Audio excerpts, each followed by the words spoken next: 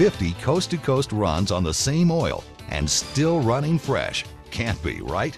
Actually, independent field tests of the oil rig show that after 152,000 miles, the oil in a Kenworth truck had the level of oil quality and wear-related contaminants you'd expect to find after only a few thousand miles on the road.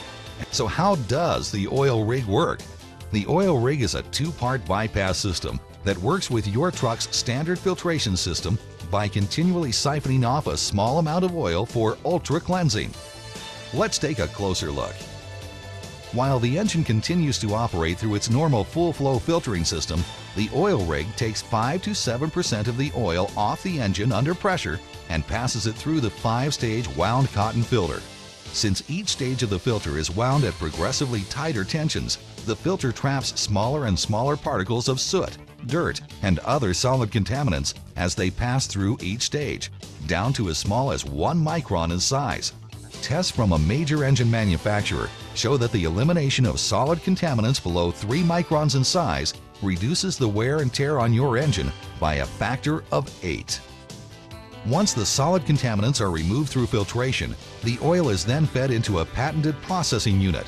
The processor eliminates virtually all water, fuel, and other liquid contaminants from the oil. Liquid contaminants lead to the buildup of acids and can destroy viscosity, both of which are extremely damaging. The oil rig effectively removes these problems. The newly processed oil is then gravity fed back to the engine and put back into standard circulation. The bottom line?